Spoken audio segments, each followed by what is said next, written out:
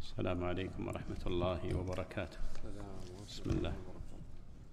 شيخنا قد ذكروني مسألة اللواصق الطبية. إيش؟ مسألة اللواصق الطبية. أي طيب. بسم الله الرحمن الرحيم. الحمد لله رب العالمين والصلاة والسلام على رسوله المبعوث رحمة للعالمين وعلى آله وصحبه أجمعين وبعد. اللهم بارك لنا في شيخنا وأطل عمره في عافية وحسن عمل وزده علما وتوفيقا والحاضرين. قال المصنف رحمه الله تعالى باب الجنب يتيمم لخوف البرد. قال عن عمرو بن العاص رضي الله عنه أنه لما بعث في غزوة ذات السلاسل قال احتلمت في ليلة باردة شديدة البرد فأشفقت ان, إن اغتسلت أن أهلك فتيممت ثم صليت بأصحابي صلاة الصبح. فلما قدمنا على رسول الله صلى الله عليه وسلم ذكروا ذلك له فقال يا عمرو صليت بأصحابك وأنت جنوب؟ فقلت ذكرت قول الله تعالى ولا تقتلوا أنفسكم إن الله كان بكم رحيما فتيممت ثم صليت فضحك رسول الله صلى الله عليه وسلم ولم يقل شيئا. رواه أحمد وأبو داود والدار قطني. قال فيه من العلم إثبات التيمم لخوف البرد وسقوط الفرض به وصحة اقتداء المتوضئ بالمتيمم وأن التيمم لا يرفع الحدث وأن التمسك بالعمومات حجة واضحة صحيحة. بسم الله الرحمن الرحيم. الحمد لله رب العالمين وأشهد أن لا إله إلا الله وحده لا شريك له وأشهد أن محمدا عبده ورسوله. صلى الله وسلم وبارك عليه وعلى آله وأصحابه وعلى التابعين ومن تبعهم بإحسان إلى يوم الدين وسلم تسليما مزيدا. أما بعد فذكرني الشيخ خالد وبقية الإخوة في موضوع ما أشرت إليه في آخر الدرس الماضي من التذكير بمسألة اللواصق الطبية. وهي المسألة تدخل في مسألة الجبيرة. حديث جابر رضي الله عنه يذكره العلماء ويعقبونه بذكر أحكام الجبيرة والجبيرة هي أعواد توضع على العضو المكسور. أعواد توضع على العضو المكسور. هذا قديما وحديثا الآن أصبح هناك ما يسمى بالجبص يجبر به العضو المكسور. الجبيرة في الواقع لا يصح فيها حديث عن النبي صلى الله عليه وسلم ولكن جماهير أهل العلم على اعتبارها وعلى أن المسح يكون عليه المسح على الجبيرة فإذا كانت على اليد مثلا أو على القدم فإنه يمسح عليه يمسح عليها ورويت في هذا آثار عن الصحابة رضي الله عنهم. والجبيرة تفارق الخفين في مسائل. الجبيرة تفارق الخفين في مسائل. أولها أن من شروط صحة المسح على الخفين أن يلبسهما على طهارة بخلاف الجبيرة وإن كان هذا ليس محل إجماع محل خلاف لكن الجبيرة أيضا يمسح عليها وإن كانت ملبوسة أو موضوعة على غير طهارة. الفرق الثاني أن المسح على الخفين يكون على ظاهر الخف وأما الجبيرة فتمسح كلها تمسح كلها ولذلك المسح على الجبيرة يكون من أعلاها وأسفلها ومن جميع جوانبها. أما المسح على الخفين فيكون على ظاهر الخف كما تقرر شرحه في الدروس السابقة. الثالث من الفروق أن المسح على الخفين مؤقت. وأما المسح على الجبيرة فوقته متى؟ البرء وقته البرء إذا برئت. ولهذا مر معنا حديث النبي عليه الصلاة والسلام يمسح المقيم يوم وليلة والمسافر ثلاثة أيام بلياليهن. أما الجبيرة فعند البرء إذا برئ الجرح نزعها. إذا برئ الجرح نزعه هذه أهم الفروق بين الجبيرة وبين وبين الخف. بالنسبة للواصق الطبية اللواصق الطبية هي اللاصق الذي يوضع على الجرح وليس هو من ليس له حكم ليس هو مثل الجبيرة وإنما لاصق طبي يوضع على على على الجرح في محل العضو في الوضوء. فكيف يتعامل معه المتوضأ؟ أولا لا بد أن نفصل في هذه المسألة. فإذا كان الجرح لا يضره وصول الماء فيجب عليه أن يزيل اللاصق الطبي وأن يغسل العضو كاملا. إذا كان الجرح لا يضره الماء فيجب عليه أن يزيل اللاصق الطبي وأن يغسل العضو الذي فيه الجرح. وهذا يكون في الجروح السطحية البسيطة فيمسح فيغسل هذا العضو. ثانيا إذا كان الجرح يضره الماء يضره الماء وكان مكشوفا غير مغطى فإنه يمسح عليه يمسح على الجرح ولا يغسله. بمعنى يبلل يده بالماء ويمسح على الجرح ويغسل باقي العضو يغسل باقي العضو. ثالثا إذا كان الجرح يضره الماء وهو مغطى فإنه يقوم بمسحه. المسح عليه من أعلى ويكتفي بذلك يكتفي بذلك يمسحه من أعلى. هذا باختصار فيما يتعلق باللواصق الطبية. قال رحمه الله تعالى باب الجنب يتيمم لخوف البرد. باب الجنب يتيمم لخوف البرد. المصنف رحمه الله تعالى بوب هنا بابا قال باب الجنب يتيمم لخوف البرد والمعنى بأن من عليه حدثا أكبر وهو يخشى من استعمال الماء مع وجوده فإنه ينتقل إلى التيمم ينتقل إلى التيمم. وذكرنا لكم في المجلس السابق أن التيمم ينتقل إليه المكلف في حالتين الحالة الأولى ما هي؟ فقد الماء. قال تعالى فإن لم تجدوا ماء فتيمموا. والحالة الثانية وجود الماء لكن مع العجز عن استعماله إما لبرد خوف برد مثلا أو مرض أو شيء من هذا القبيل. قد دلت أحاديث السنة النبوية على ذلك. منها حديث عمرو بن العاص رضي الله عنه الذي قرأناه قبل قليل. وعمرو بن العاص هو عمرو بن عاص بن العاص بن وائل السهمي رضي الله عنه وهو من دهاة العرب. كما ذكر ذلك جمع ممن يترجم للعظماء ذكروا بأن عمرو بن العاص من دهاة العرب ووائله العاص بن وائل السهمي الذي آه، لم يسلم لم يسلم. وأما عمرو بن العاص فأسلم قيل أسلم في فتح آه، في بعد صلح الحديبية وقيل غير ذلك. والمعنى بأن عمرو بن العاص رضي الله عنه من الصحابة الأجلاء ولقد كان النبي صلى الله عليه وسلم يخصه بمزيد اهتمام وقد ولاه غزوة ذات السلائل السلاسل ولاه, ولاه غزوة ذات السلاسل أميرا عليها. وغزوة ذات السلاسل كانت في السنة الثامنة من هجرة النبي صلى الله عليه وسلم. قيل في جماد الأولى وقيل في جماد الآخرة. والله أعلم. بعض أهل العلم قالوا بأن النبي صلى الله عليه وسلم بلغه أن قضاعة يجهزون لغزو المدينة حينما بلغهم أن النبي صلى الله عليه وسلم يريد تبوك غزوة تبوك فأراد النبي عليه الصلاة والسلام تأديبهم. أراد أن يؤدبهم وأن يظهر قوة المسلمين فأرسل عمرو بن العاص آه، رأسا وأميرا على هذه السرية وقيل بأن آه، غزوة ذات السلاسل كانت في آه، جماد الآخرة بعد غزوة تبوك.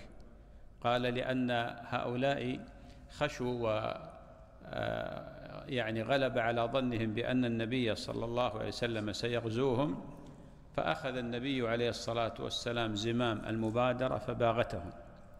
وأما تولية عمرو بن العاص على وجه الخصوص قيل لأن جدة عمرو بن العاص من أبيه من قبيلة بلي بلوية يعني من قبيلة بلي وقد أمره النبي عليه الصلاة والسلام أن يستعين بهؤلاء بقبيلة بلي ومن حولها آه، على قبيلة قضاعة وهذا لا شك يدل على ذكاء النبي صلى الله عليه وسلم وحنكته صلوات ربي وسلامه عليه.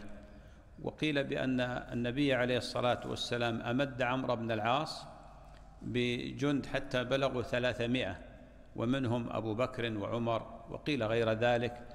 والله تعالى أعلم بالصواب. واختلف العلماء في تسميتها بذات السلاسل. قيل لأن هذه الغزوة مروا فيها على سلاسل جبلية أو رملية. وقيل بأن الصحابة وضعوا السلاسل في أقدامهم حتى لا يهربوا وهذا بعيد وليس من شأن المسلمين ذلك. وذكروا فيها معاني ذكروا فيها معاني. في هذه الغزوة التي كان فيها عمرو بن العاص أميرا عليها احتلم في تلك الليلة رضي الله عنه. احتلم في تلك الليلة. فلما أصبح كان الجو باردا لأن غزوة ذات السلاسل كانت في جهة الشمال إلى الشام إلى جهة الشام وكان الجو باردا. فعمرو بن العاص رضي الله عنه لما احتلم في تلك الليلة شديدة البرد قال أشفقت إن اغتسلت أن أهلك. يعني إن اغتسل سيهلك ويموت. فتيمم رضي الله عنه. ورآه الناس يتيمم. ثم صلى بأصحابه صلاة الصبح. فلما قدموا إلى رسول الله صلى الله عليه وسلم أخبروه الخبر وذكروا له القصة. فطلبه النبي عليه الصلاة والسلام. فقال لعمرو بن العاص أصليت بأصحابك وأنت جنب؟ وهذا من النبي عليه الصلاة والسلام استفهام وتأكد وتيقن من الخبر الذي بلغه. فقال عمرو بن العاص ذكرت قول الله تعالى ولا تقتلوا أنفسكم إن الله كان بكم رحيم. فعمرو بن العاص استدل مباشرة ولم يقل نعم وإنما قال تذكرت قول الله عز وجل ولا تقتلوا أنفسكم إن الله كان بكم رحيما فتيممت ثم صليت فضحك رسول الله صلى الله عليه وآله وسلم ولم يقل شيئا.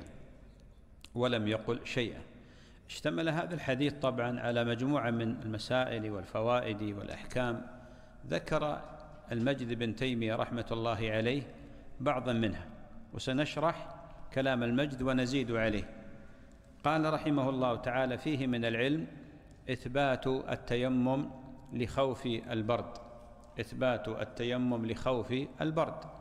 وهذه مسألة ذكرناها في المجلس السابق وذكرناها قبل قليل وهو أن التيمم لا يكون لفقد الماء فقط وإنما يكون من العجز عن استعماله وذلك بالخوف إن هو استعمله هلك كأن يمرض أو أن يتضاعف المرض مثلا عليه أو أن يحصل له مثلا آه، شيء آخر من الأشياء المضرة. ودين الإسلام دين رحمة ولله الحمد ويسر. فالله جل وعلا قال فاتقوا الله ما استطعتم. وقال جل وعلا لا يكلف الله نفسا إلا وسعها. وقال جل وعلا لا يكلف الله نفسا إلا ما آتاها. ولهذا الإنسان قد يلجأ إلى التيمم مع وجود الماء أمامه وذلك بالعجز عن استعماله. عجز عن استعمال الماء خشية المرض خشية المرض. حتى ذكر العلماء في في المعارك قالوا إن خشي إن أوقد نارا أن يراه العدو فله أن يتيمم. يقول إن خشي إن أوقد نارا لتسخين الماء أن يسخن الماء فله أن يتيمم. آه، وذلك للعجز يعتبر في مثل هذه الحالة عاجز. قال إثبات التيمم لخوف البرد. فكل من غلب على آه، ظنه أنه يهلك أو يمرض أو يتضاعف المرض فله ذلك فله ذلك. قد يقول قائل طيب لماذا لم يسخن عمرو بن العاص الماء مع إمكانه؟ ذكرت لكم من الأسباب التي آه، ذكرها العلماء خشية أن يكشفهم العدو فيبغتونهم أو يأخذونهم على غرة. وهذا أحد الأسباب. وقد يكون أيضا استعمال الماء ولو كان ساخنا في الجو البارد مضر حتى لو لو سخن الماء لكن هو أن يكون في الجو البارد مضر به. قال رحمه الله تعالى وسقوط الفرض به.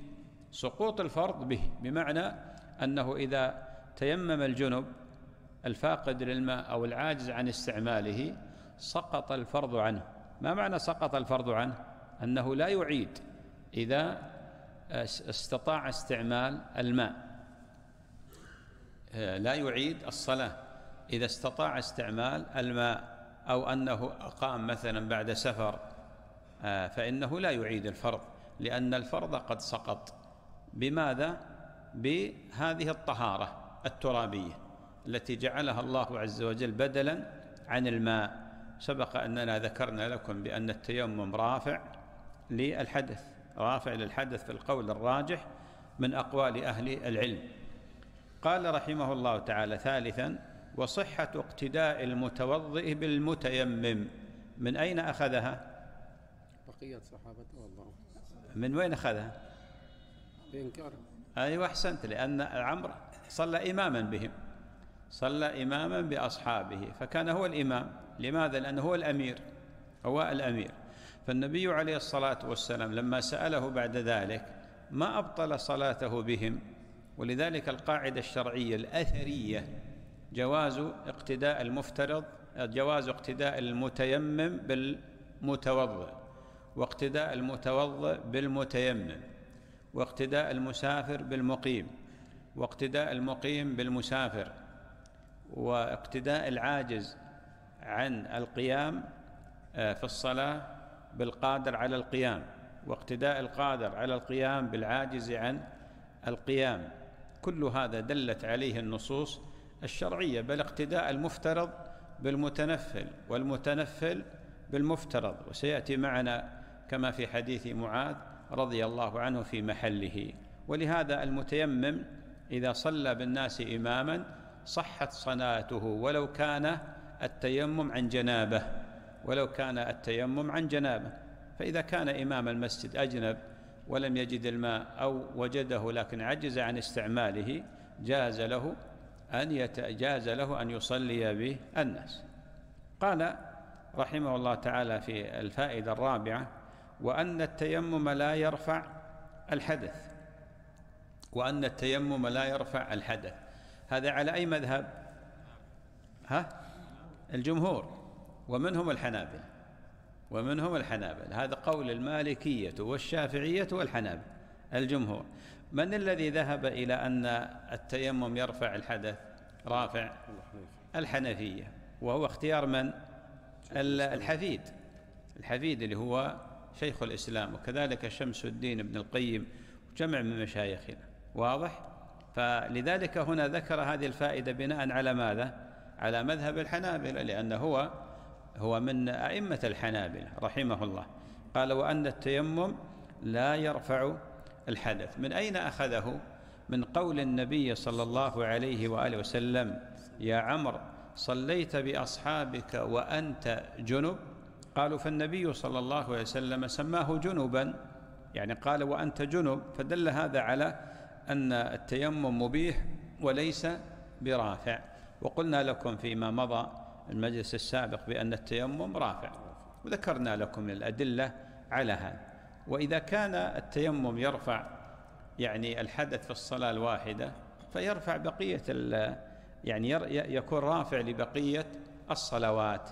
وهذا الذي قرره شيخ الإسلام ابن تيمية رحمه الله تعالى حينما بحث هذه المسألة وبين بأن الخلاف حقيقة يعني الخلاف لما يتأمل فيه الإنسان يجد بأن قول الجمهور ضعيف وليس بشيء.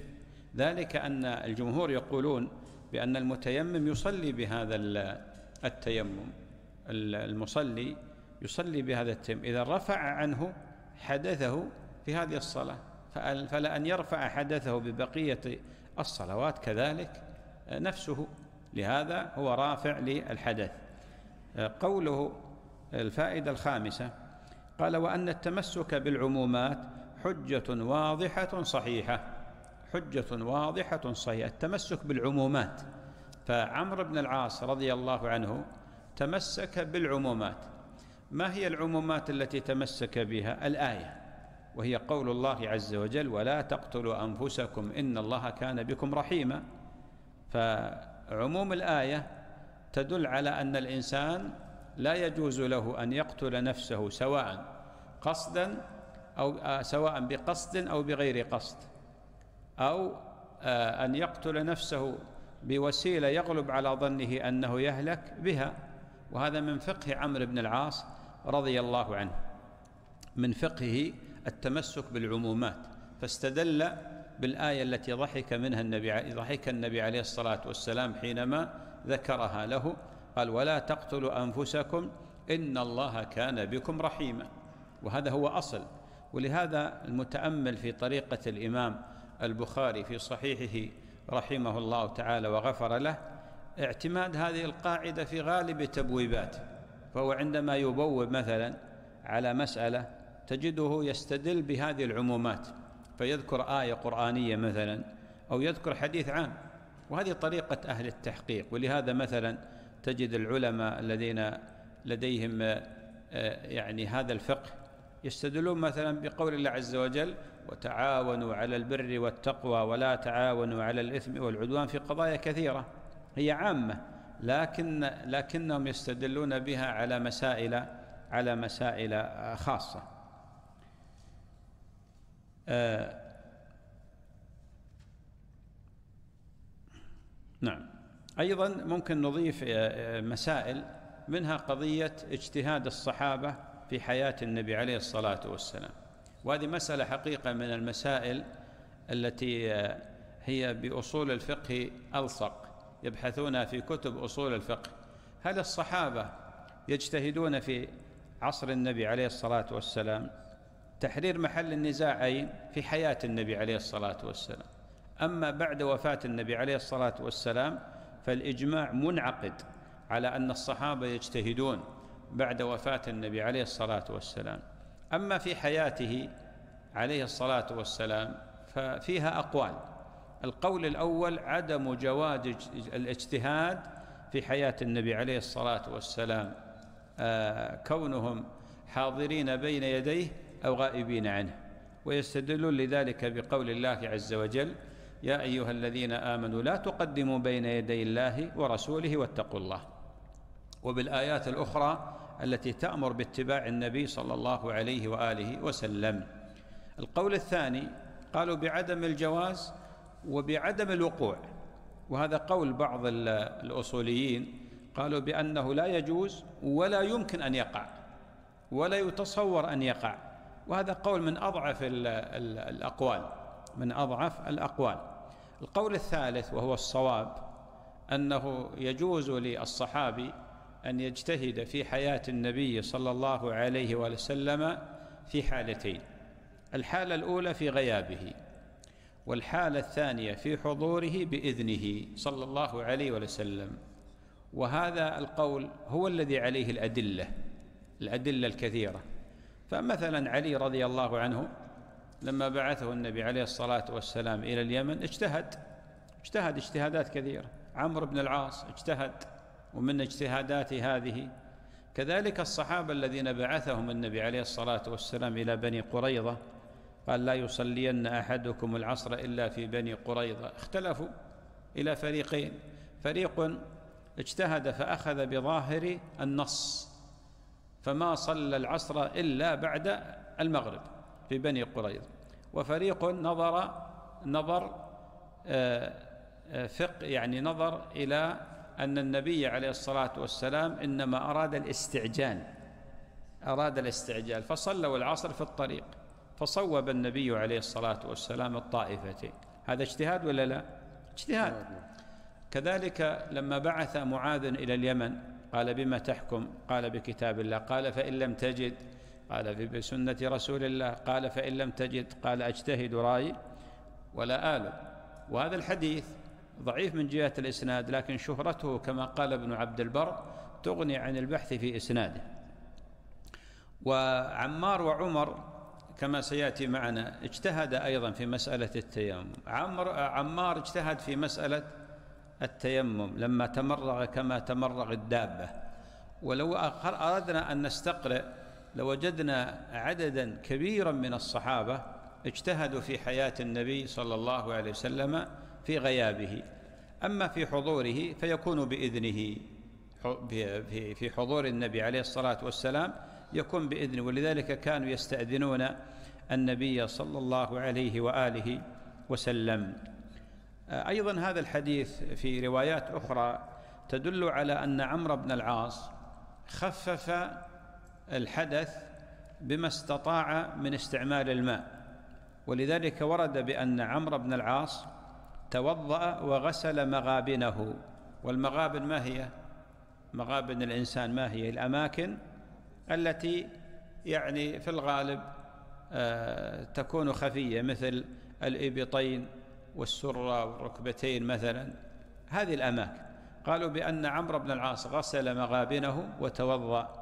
ثم بعد ذلك تيمم. وهذا يكون دليل لمن ذهب إلى الجمع بين التراب والماء. من هم يا مشايخ؟ ها؟ لا. أحسنت حسين. الشافعية والحنابل الشافعية والحنابل هم الذين ذهبوا إلى الجمع بين التراب وبين الماء. يتوضأ يغسل ما يستطيع غسله ثم بعد ذلك يتيمم ثم بعد ذلك يتيمم أيضا من الفوائد في هذا الحديث السنة التقريرية لأن السنة النبوية على ثلاثة أقسام قولية وفعلية وتقريرية السنة القولية ما هي؟ قال النبي صلى الله عليه وسلم كذا السنة الفعلية ما هي؟ فعل النبي صلى الله عليه وسلم كذا السنة التقريرية هي أن يفعل الصحابي في زمن الوحي في زمن الوحي. هذا مهم القيد. ذكره ابن حجر وغيره. أن يفعل الصحابي فعلا في زمن الوحي فيقره النبي صلى الله عليه وسلم بحضوره أو بغيابه. وعلامات الإقرار السكوت أو الضحك مثلا. السكوت أو الضحك. النبي عليه الصلاة والسلام ذبح في عصره فرسا فأكله الصحابة ولم ينكر فدل هذا على إباحة أكل الخيل.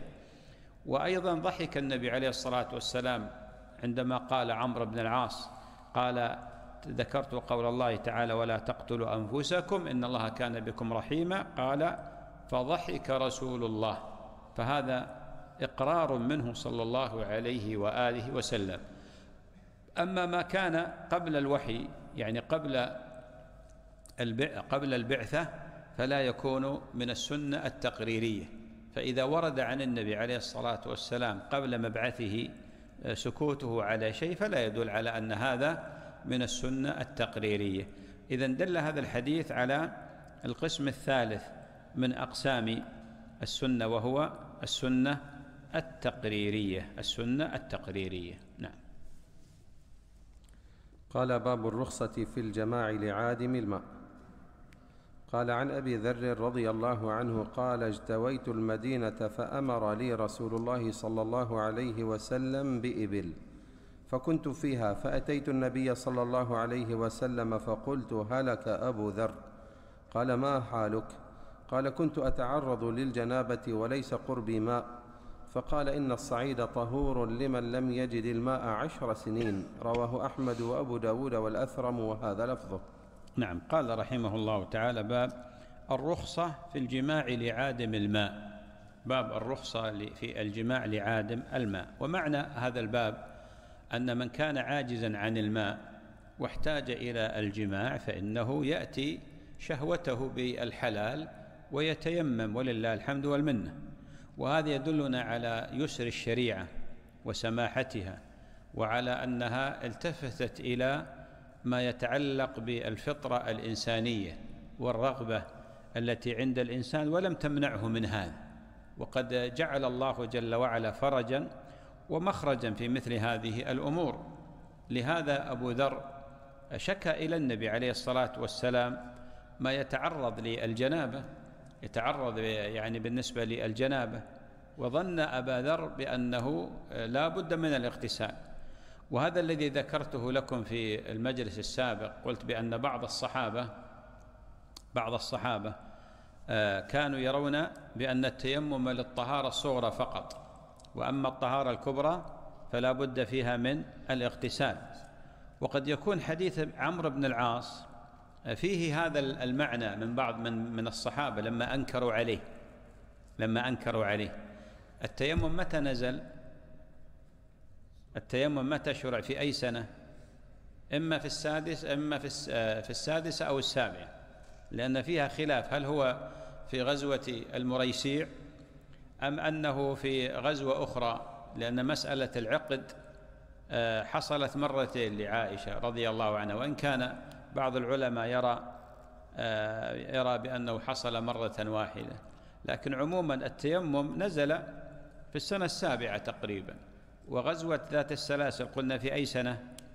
في الثامنة. إذن الصحابة كان عندهم علم. فلعل الصحابة الذين أنكروا على عمرو بن العاص آه، تيممه لأنه عن حدث أكبر. عن حدث أكبر. وقد كان جمع من الصحابة يرون بأن التيمم إنما هو عن الحدث الأصغر مثل من؟ عمر وابن مسعود وأبو موسى الأشعري وجمع من الصحابة الكرام كانوا يذهبون إلى أن التيمم يكون من الحدث الأكبر وسيأتي معنا قصة عمر وعمار. آه، لهذا آه، لهذا آه، انعقد الإجماع بعد ذلك على أن التيمم يكون من الحدث الأصغر ومن الحدث الأكبر. فلعل أبا ذر أيضا فهم هذا. والمعنى بأن الإنسان إذا أجنب من احتلام أو من جماع ولم يجد الماء أو عجز عن استعماله فإنه يتيمم ولله الحمد والمن قد اشتمل هذا الباب أو هذا الحديث على مجموعة من المسائل والفوائد. منها أولا فضيلة أبي ذر الغفاري وهو جندب ابن جنادة وهو من أفاضل الصحابة وممن أسلم في مكة رضي الله عنه. وكان من المتألهين المتنسكين المتعبدين وكان على علم. وكان له بعض الاختيارات لم يوافقه عليها بعض الصحابة مثل قضية الذهب كنز المال. هو يقول بأن بأن في قول الله تعالى والذين يكنزون الذهب والفضة ولا ينفقونها في سبيل الله أن من أبقى درهما عنده فهذا كنز. ولذلك كان يأمر بإنفاق المال مباشرة. خالفه جمهور الصحابة رضي الله عنهم. وأبو ذر الغفاري فضائله كثيرة فلقد كان له من المواقف والفضائل والمناقب الشيء العظيم الذي سجلته دواوين السنة النبوية. قوله اجتويت المدينة اجتويت المدينة يعني استوخمتها ومعلوم بأن المدينة كان فيها الحمى. المدينة كان فيها الحمى معروفة كل من طرأ عليها من غيرها أصابته الحمى. النبي عليه الصلاة والسلام لما هاجر إلى المدينة آه، آه، أصيب كثير من الصحابة منهم أبو بكر وبلال. أبو بكر رضي الله عنه أصابته الحمى حتى يعني ما شكوا في في في موته من شدة الحمى. آه، يقول رضي الله عنه كل امرئ مصبح في أهله والموت أقرب من شراك نعله. كان كان يرتجز هذا تأتيه ابنته عائشة فتتألم له. وبلال تأتيه فتقول كيف أنت؟ يقول ألا ليت شعري هل أبيتن ليلة بواد وحولي إذخر وجليل وهل أردا يوما مياه مجنة وهل يبدو لي شامة وطفيل؟ جبلان معروفان. كذلك العرنيين الذين جاء في الصحيحين خبرهم حينما اجتووا المدينة استوخموها بمعنى أصابهم مرض وحمى ويحصل عندهم شيء من الإرهاق وكذا. آه، فدلهم النبي أمرهم السلام بأن يذهبوا إلى بل الصدقة. قصتهم معروفة ستأتي في أبواب الحرابة. آه، فالنبي ولكن النبي عليه الصلاة والسلام دعا الله تعالى أن ينقل حمى المدينة إلى الجحفة. فدعا الله فانتقلت الحمى إلى الجحفة. الجحفة التي هي قريبة من مدينة رابغ. فكانت هناك كانت هناك فسلمت المدينة ولله الحمد والمن. هؤلاء استوخ أبو ذر استوخم يقول اجتويت المدينة يعني استوخمتها استوخمت فأمر لي النبي صلى الله فأمر لي رسول الله صلى الله عليه وسلم بإبل فكنت فيها. قد كان النبي عليه الصلاة والسلام يأمر من استوخم المدينة وأصابته أصابه هذا الداء أن يشرب من من لبن الإبل سبحان الله العظيم. وكأنه هو الدواء لهذا الداء. والعرانيين أمرهم بأن يشربوا من ألبانها وأبوالها. فصحوا يعني يعني أثر فيهم هذا هذه الوصفة التي وصفها لهم وسلم مباشرة. لكنهم ارتدوا والعياذ بالله عن الإسلام وقتلوا الراعي وساقوا إبل الصدقة. وقتلوا الراعي قتل شنيع سملوا عينيه. وقطعوا يديه ورجليه ففعل بهم النبي صلى الله عليه وسلم فعل كما سيأتي معنا. إذن قال فأمر له الإنسان بإبل قال فكنت فيها فأتيت النبي صلى الله عليه وسلم. يعني كان في الإبل ويحتلم. فقال فقلت هلك أبو ذر هلك أبو ذر وقول أبي ذر هلك معناه بأنه ترك الصلاة لأنه هو الآن تأتيه الجنابة ولا يصلي لا يستطيع أن يصلي. قال ما حالك؟ قال كنت أتعرض للجنابة وليس قربي ماء. إذن أبو ذر عادم للماء وليس واجد للماء أو عاجز عن استعماله. فقال صلى الله عليه وسلم آه، إن الصعيد طهور لمن لم يجد الماء عشر سنين. إن الصعيد الصعيد ما هو؟ وجه الأرض. ها؟ وجه الأرض. كل ما صعد على الأرض من تراب وغيره على الراجح على خلاف مذهب الحنابلة أنهم ومن وافقهم أنهم قيدوه بالتراب. بل الجمهور يعني قيدوه بالتراب وقال بعضهم لا بد أن يكون له غبار. فالصعيد هو هو ما ما كان على وجه الأرض. كما قال تعالى صعيدا زلقا وقال جل وعلا وقال النبي عليه الصلاة والسلام في حشر الناس يحشرون على صعيد واحد. يعني على أرض واحد فسمى كل ما هو على وجه الأرض صعيد ولا يخفاكم بأن الأرض تختلف. فيها الرمل وفيها التراب وفيها يعني غير غير ذلك من أنواع الأرض.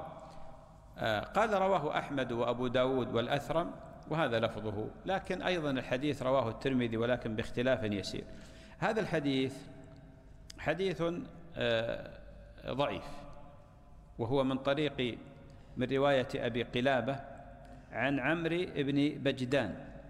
وعمرو بن بجدان هذا اختلف فيه العلماء آه، والراجح بأنه مجهول. الراجح بأنه مجهول. عامر بن بجدان وقد ضعفه جمع من أئمة الحديث. لكن هناك شاهد لهذا الحديث شاهد له من حديث أبي هريرة رضي الله عنه عند البزار وعند الطبراني في الأوسط كما ذكر ذلك الحافظ ابن حجر رحمه الله تعالى. وحديث أبي هريرة ليس فيه ذكر قصة أبي ذر وإنما فيه إن الصعيد طهور لمن لم يجد الماء عشر سنين. وقد صحح حديث أبي هريرة صححه ابن القطان.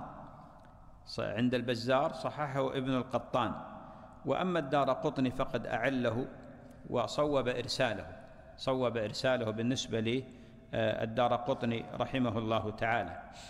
عموما هذا الحديث آه، من الأحاديث التي تشير إلى أن من كان عليه حدث أكبر فإنه يلجأ إلى إلى التيمم.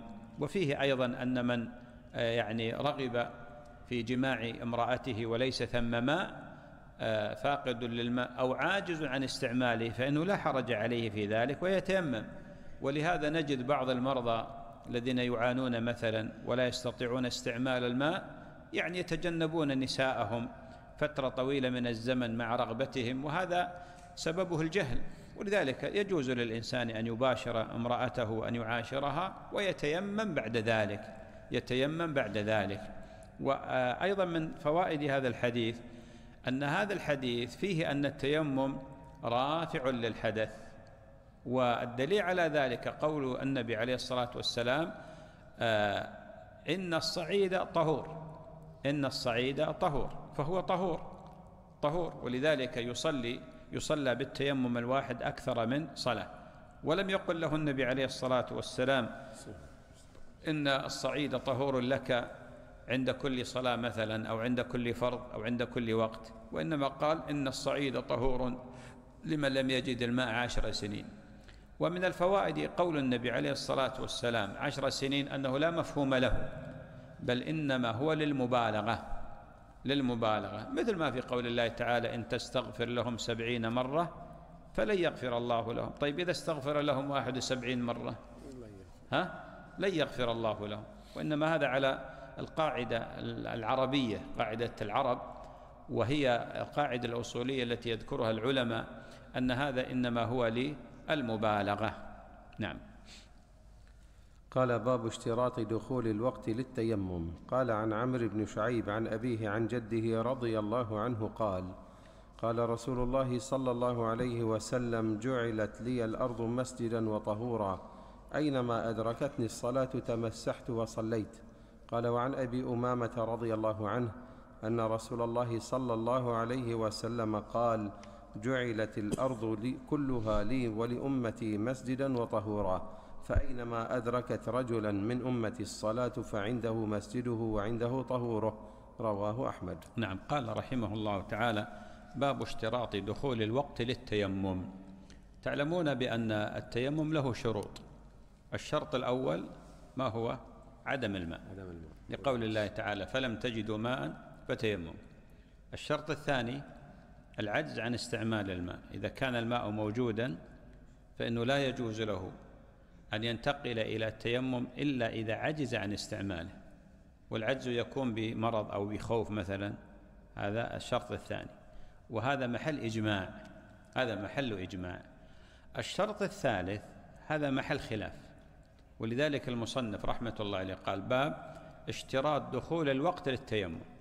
إذا من شروط صحة التيمم دخول الوقت والمعنى بأن من تيمم قبل دخول الوقت لم يصح تيممه وهذا عند الحنابلة ومن وافقهم من الجمهور. الجمهور ذهبوا إلى هذا والحنابلة كذلك مع الجمهور قالوا بأن من شروط صحة التيمم دخول الوقت. لماذا؟ أنا أسألكم لماذا؟ عبد الله. لا لا لا. حمد أيوة أحسنت. لأنه قالوا بأن التيمم مبيح. ليش أنا في المجلس السابق قدمت لكم بعض القواعد حتى نفهم الأحكام التي ترد معنا؟ الأحكام التي ترد معنا. قالوا بأن التيمم مبيح وليس رافع. إذا ما تستباح العبادة بالتيمم إلا بعد تعينها وتعينها يكون بدخول الوقت. فمن تيمم قبل دخول الوقت لم يصح تيمم. هذا على مذهب الجمهور.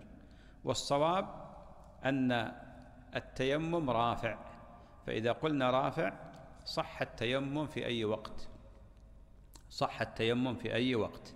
ولهذا أي مسألة ترد عليك في هذه في هذا الترتيب ترجعها إلى هذه القاعدة التي هي محل خلاف بين العلماء هل التيمم مبيح أم رافع؟ هل التيمم مبيح أم رافع؟ ولذلك هذا الشرط محل خلاف عند أهل العلم والراجح من قول أهل العلم بأن بأنه لا يشترط دخول الوقت للتيمم لا يشترط دخول الوقت للتيمم. طبعا ذكر حديث عمرو ابن شعيب عن أبيه عن جده. سبق أن ذكرنا آه، حديث عمرو ابن شعيب ها؟ بحثنا؟ طيب نكتفي به. طبعا الراجح من أقوال أهل العلم أن حديث عمرو ابن شعيب عن أبيه عن جده لا ينزل عن درجة عن رتبة الحسن. لا ينزل عن رتبة الحسن. وهذا هو القول الراجح من أقوال أهل العلم. وعمرو بن شعيب عن أبيه أبيه اسمه محمد.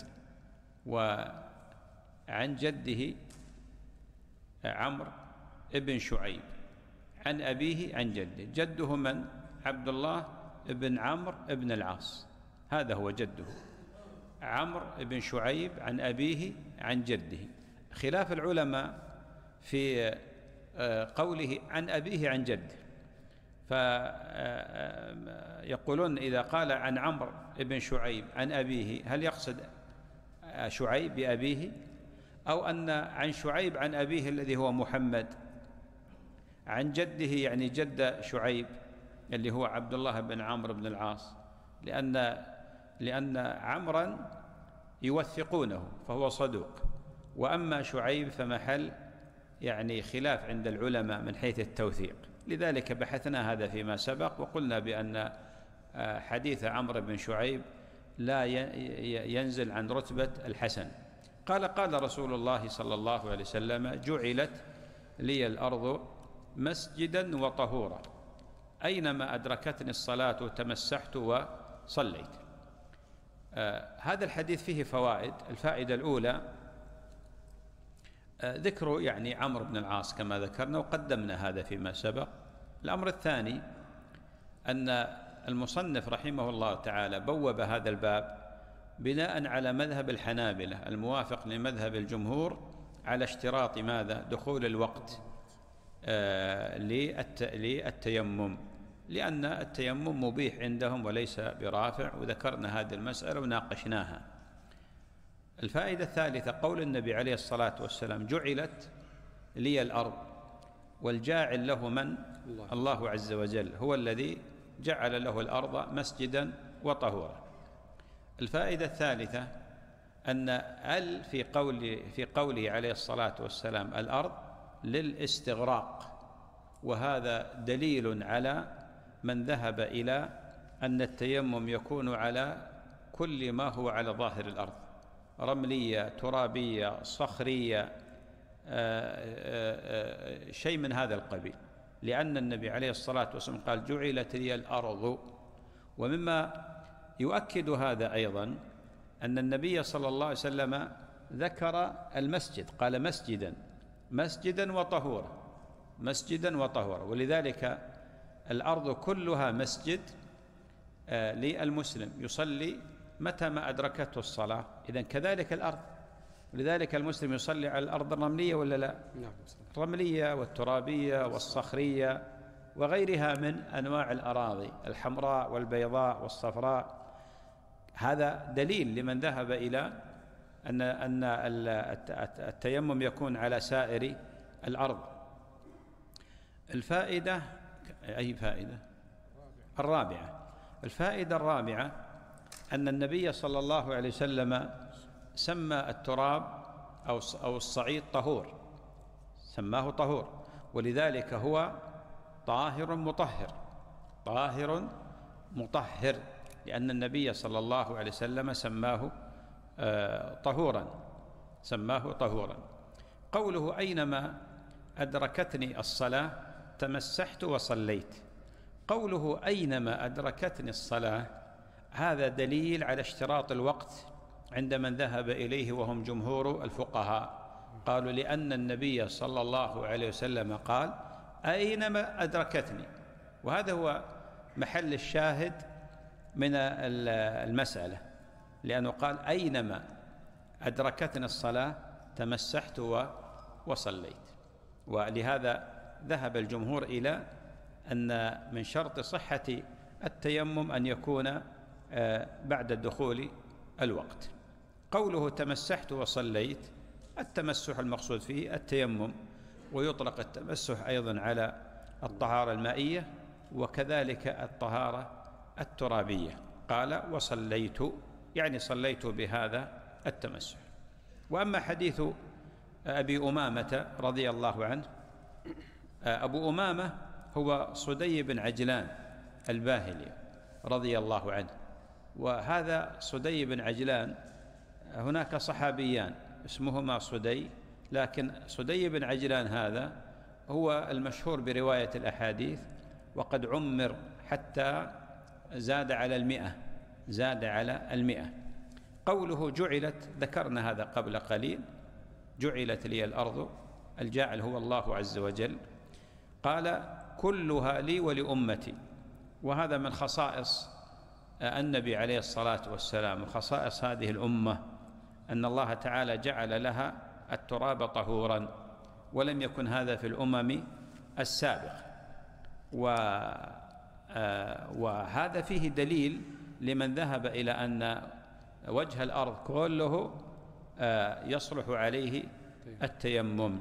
قوله فأينما أدركت رجلا من أمة الصلاة هذا شاهد لمن ذهب إلى اشتراط الوقت ولكن ذكرنا بأن هذا ضعيف. ها؟ خلاص. بسم الله. الله. الله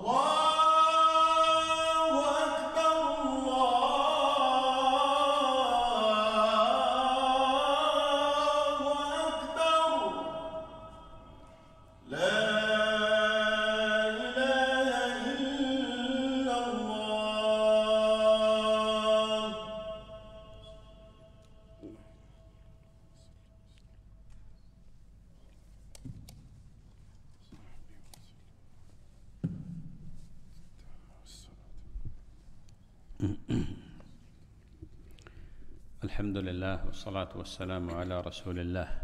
أما بعد فهذه حصة الإجابة على الأسئلة وأنبه قبل ما أبدأ بأن درس التفسير آه، مؤجل اليوم إن شاء الله. نؤجله إلى الدرس القادم. سننصرف بعد صلاة العشاء مباشرة. سؤال يقول ذكر في حديث الشجة التيمم والمسح على الخرقة والوضوء فهل على من كانت عليه جبيرة وهو على جنابه والماء متوفر أن يتطهر مثل صفة الحديث. بالنسبة لمن كان عليه جبيرة يكفيه المسح عليها يكفيه المسح عليها ويغسل بقية بدنه. ومن أهل العلم من ذهب كما ذكرنا بأنه يتيمم عن الباقي. لكن آه، من أهل العلم من قال يكتفي بالمسح عليها. ذكرتم في الدرس السابق أن من استيقظ وبقي إلى شروق الشمس آه، وقت لا يس يسمح له بالاغتسال إنما بالتيمم أن يغتسل وأن وقته يبدأ من استيقاظه ما معنى وقته يبدأ من استيقاظه؟ بالنسبة لمن آه، نام ولم يستيقظ ولم يكن مفرطا ولا متساهلا وكما قال النبي عليه الصلاة والسلام ليس في النوم تفريط فإن وقته يبدأ من استيقاظه. وق- وقت هذا النائم يبدأ من استيقاظه. وعليه وجوبا أن يطلب ما تصح به الصلاة ومن ذلك الطهارة. فإذا كان جنبا اغتسل حتى ولو طلعت الشمس لأن وقته بدأ من من من استيقاظه. فقد صح عنه عليه الصلاة والسلام أنه قال من نام عن صلاة أو نسيها فليصليها إذا ذكره. فجعل الوقت من التذكر أو من الاستيقاظ. هذا هو المعنى. طبعا من العلماء من ذهب إلى أنه إذا بقي وقت آه هذا الوقت آه لا يمكن أن آه يغتسل آه به أو فيه إلا بعد طلوع. آه إذا اغتسل فيه طلع خرج الوقت قالوا يتيمم. لكن الراجح الأول. هل من شك بأن هذا الخارج مني أم لا؟ يلزمه الغسل كما أن التفكير يأخذه إلى أن عدم اغتساله سيؤدي إلى عدم قبول جميع الصلوات. طبعا هذا السائل يظهر عنده شيء من الوسواس لأنه بدأ يبني أحكام على نفسه بمثل هذه الطريقة. أولا عندنا قاعدة عظيمة في الشريعة اليقين لا يزول بالشك. اليقين لا يزول بالشك والأصل البراءة. خاصة في مثل هذه الأشياء. لكن من وجد بللا فإنه ينظر. من وجد بللا فإنه ينظر. فإذا سبقه تفكير أو شيء فإن هذا يكون احتلاما يكون احتلاما. أما إذا لم يسبقه شيء مثلا لم يسبقه شيء فهنا يجتهد يجتهد. فقد يكون بعض الناس مبتلى بسلس مبتلى بشيء من هذا القبيل. لكن ذكرنا نحن في الدرس بأن من استيقظ ووجد بللا ولم يذكر احتلاما فإنه إيش؟ جنب. ها؟ يغتسل.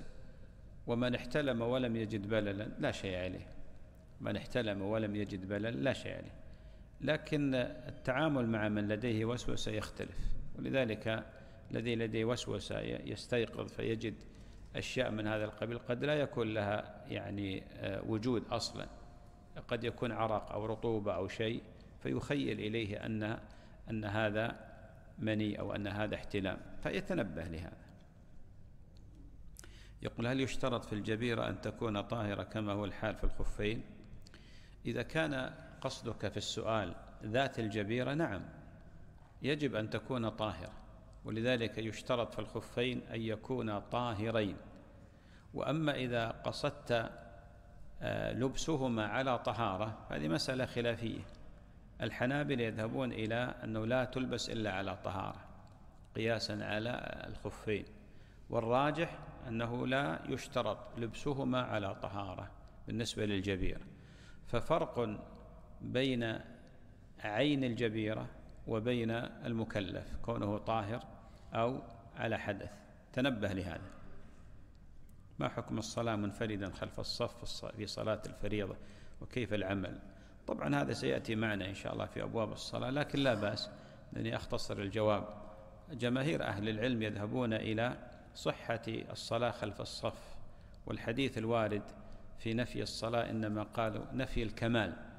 وانفرد الحنابلة ذهبوا وهذا من مفرداتهم إلى بطلان صلاة المنفرد خلف الصف ولو كان لعذر يعني بمعنى أنه جاء وقد اكتمل الصف قالوا لا يصلي. لا يصلي مطلقا لقول النبي عليه الصلاة والسلام لا صلاة لمنفرد خلف الصف وفي لفظ لا صلاة لفذ خلف الصف ولقول ولأن النبي صلى الله عليه وسلم رأى رجلا يصلي خلف الصف فذهب إليه حتى إذا انتهى قال أعد صلاتك أو استقبل صلاتك. هذا مذهب الحنابل لكن عموما الذي يظهر أنه الراجح أن من دخل المسجد ووجد الصفوف مكتملة ولم يجد فرجة وغلب على ظنه بأنه لا يأتي أحد يصلي معه يصلي ويكون النفي هنا نفي الكمال. وقد دلت على ذلك مجموعة نصوص عامة وخاصة. في حال رأي الجمهور بأن التيمم رافع هل يعني أنه إذا تيمم للصلاة وصلاها ودخل وقت الصلاة الثانية وأراد صلاة تطوع ولم ينتقد تيممه هل يتيمم مرة أخرى ليصلي أم يصلي بالتيمم الأول؟ وإن وجد الماء بعد التيمم الأول. أولا لا بد أن تصحح معلومتك لأنك أخطأت بهذا السؤال. فأنت نسبت إلى الجمهور أنهم يقولون بأن التيمم رافع وهذا غلط. لعلك قصدت الجمهور يرون بأن التيمم مبيح ها؟ أيها السائل أخطأت في هذا وصحح معلومتك. فإذا كان سبق قلم وخطأ مطبعي طيب. إذا كان رسخ في ذهنك بأن الجمهور يقولون بأن التيمم رافع فهذا خطأ ذكرنا هذا في المجلس السابق وفي هذا المجلس. التيمم رافع عند الحنفية ومن وافقهم كشيخ الإسلام ابن تيمية وشمس الدين ابن القيم وجمع من أهل التحقيق. واضح؟ طيب. تقول إذا تيمم للصلاة وصلى إذا قلت بأنه مبيح فإنه لا يستبيح إلا عبادة واحد. وذكرت أنا هذا ومثلت له. شخص أراد الصلاة قالوا لازم يتيمم بعد دخول الوقت ويصليها وما يصلي النافلة بهذا التيمم. إذا أراد أن يصلي النافلة يقول يتيمم بل بعضهم قال لا يصلى النوافل بهذا التيمم إنما تستباح الفريضة فقط. إذا جاء يقرأ القرآن يتيمم مرة ثانية حتى ولو لم يحدث. هذا قول من؟ الجمهور. الذين قالوا بأنه رافع قالوا ينزل التيمم منزلة الطهارة المائية ويأخذ البدل حكم المبدل. ها؟ فيكون مثل الماء. ما ما ينتقض إلا بنواقض الوضوء الأخرى وزيادة وجود الماء أو أو القدرة على استعماله. هذه زيادة على بقية النواقض. ما حكم الصلاة في مصليات فنادق جبل عمر بجنب الحرم علما بأن يوجد شارع تمر به السيارات يفصل بين ساحات الحرم والفنادق؟ وهل إذا دخل المصلي يصلي تحية المسجد لأن المصلى تبع للمسجد الحرام؟ آه، الفتوى هناك على أن الصلاة في الفنادق في جبل عمر آه، صلاة صحيحة وذلك لاتصال الصفوف ولو كان بينهم شارع لأنهم يرون المصلين ويسمعون أيضا الإمام يسمعون الإمام. أما تحية المسجد فلا لأن هذا مصلى. لكن لو صلى سنة لا بأس. تحية المسجد في المسجد.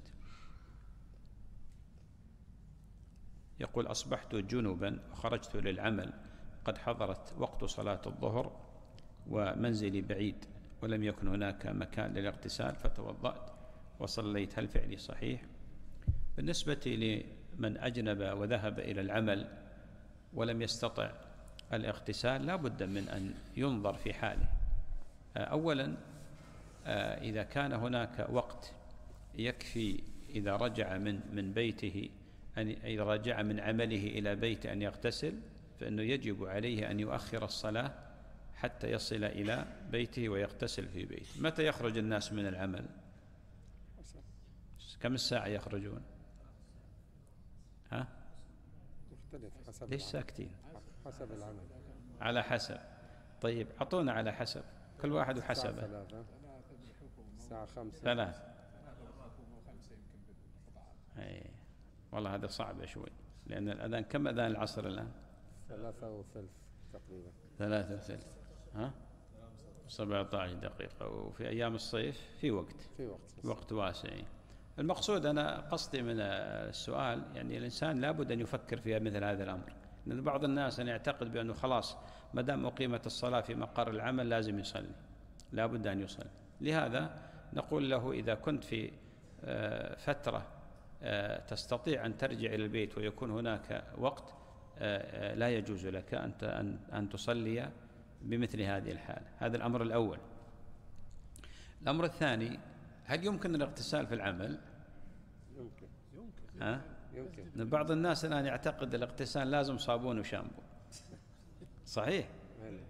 يعني النبي عليه الصلاة والسلام اغتسل بالصاع إلى خمسة أمداد. يعني وش ما, ما يستطيع الإنسان يغتسل في دورة المياه يستعمل الماء. نعتقد يستطيع. فيعني بعض الناس عنده تهويل لمثل هذه المسألة ويبغى مثلا يعني نوع معين وصابون وشامبو وكذا. لا هو حدث. هذا وصف معنوي قائم بالبدن. قلنا لكم بأنه لو اغتسلت في- دورة المياه ونشفت نفسك في المناديل زال عنك الحدث. ما أعتقد يستغرق منك خمس دقائق. هذا حل من الحلول. الشيء الآخر قضية يقول أنك توضأت. التوضؤ ما يرفع الحدث الأكبر. الذي يرفعه ما هو؟ الغسل أو تيمم. التيمم. فأنت تقول توضأت. أنت إذا عجزت عن الماء وخشيت ذهاب الوقت ممكن تلجأ إلى الماء. وعلى القاعدة التي يذكرها العلماء وذكرناها في المجلس السابق بأن تحصيل شرط ال- العبادة حتى لو فات الوقت هذا مهم حتى لو لو خرج الوقت. ذكرنا هذا فيما فيما سبق. ممكن ياخذ إجازة ساعتين جهاز طيب يستأذن فرق هذا حل. الشيخ خالد قال يستأذن المدير ساعتين يأذن له ولا لا؟ يأذن. ما يقصر إن شاء الله. طيب.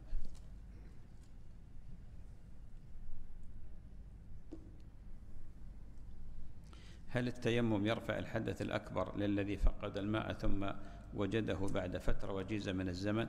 هذه سنذكرها في الدرس القادم إن شاء الله. ونذكر الحالات التي يجد فيها المتيمم الماء بعد خروج الوقت بالإجماع لا يعيد وأثناء الوقت لا يعيد في قول آه، في قول أهل التحقيق وفي الصلاة خلاف. إذا وجد الماء وهو في الصلاة. سنذكرها إن شاء الله في الدرس القادم. ما حكم التيمم بحجر أملس طبيعي واستعمال نفس الحجر عدة مرات؟ العلماء يقولون بأن الحجر هو من الصعيد ولذلك يتيمم عليه ولو لم يكن عليه غبار. ما دام أنه من الأرض يعني يتيمم عليه. حتى لو كان أملسا أو نزل عليه الماء فغسله.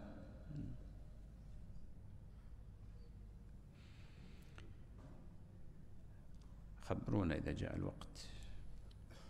أربع دقائق.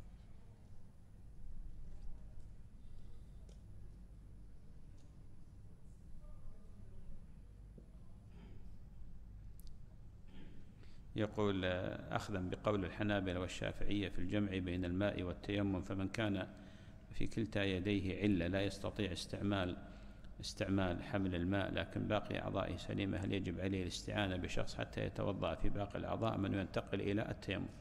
الجواب نعم يجوز له الاستعانة بالوضوء والتيمم والاستعانة على نوعين الاستعانة في صب ماء الوضوء والاستعانة في غسل أعضاء الوضوء. كذلك التيمم يجوز له في الراجح من قول أهل العلم أن يستعين بمن ييممه. شخص فيه علة في يديه ما يستطيع التيمم يجوز ينوي فيقوم شخص وييممه مثل ما ذكر السائل. آه، يقول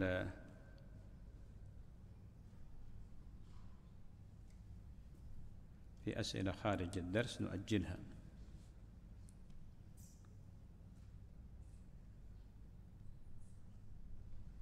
يقول حكم من من توضأ وعندما أراد غسل القدمين وجد عليهما زيتا قد مسح فيه قدميه سابقا فهل يغسلهما بالصابون ثم يعيد الوضوء أم يغسلهما بالصابون ثم يغسل القدمين؟ يعني غسل الوضوء. لا هو أولا السؤال الزيت هل هو عازل للماء؟ السؤال هنا هل الزيت عازل للماء؟ الزيوت أنواع. زيوت تتشربها البشرة وهذه لا يجب, لا يجب إزالتها ويتوضأ الإنسان عليه. وزيوت عازلة للماء ومن شروط صحة الوضوء إزالة ما يمنع وصول الماء إلى البشر. وهي الزيوت التي تشكل طبقة عازلة للماء. فإذا كنت تذكر هذه الزيت هذا النوع الثاني فهذا يجب عليك إزالته لأن الوضوء ما يصح إلا بإزالة ما يمنع وصول الماء إلى البشرة. يقول في حال كان هناك شخص في بلد بارد ويغطيه الثلوج ويلبس ملابس ثقيلة تقيه البرد وحان وقت الصلاة وكان في منطقة بعيدة عن المدينة كيف يكون الوضوء إذا خاف كشف ملابسه من البرد؟ وهل يجوز التيمم على الثلج؟ وهل يعتبر الثلج ماء أم يأخذ حكم الصعيد؟ وإذا خاف كشف ملابسه من البرد هل يجوز له المسح على الملابس؟ هذا السؤال يحتمل يعني يشتمل على مجموعة أسئلة وليس سؤال واحد. عموما الثلج ماء إذا أذيب. لا يصح طبعا التوضؤ بالثلج لأنه لا يسيل منه الماء إلا بعد إذابته ولا يتيمم عليه لأنه ليس هو من أصل الأرض. الثلج ليس من أصل الأرض وإنما هو منعقد عن الماء ومتجمد فلا يتيمم عليه وإنما يغتسل به بعد إذابته.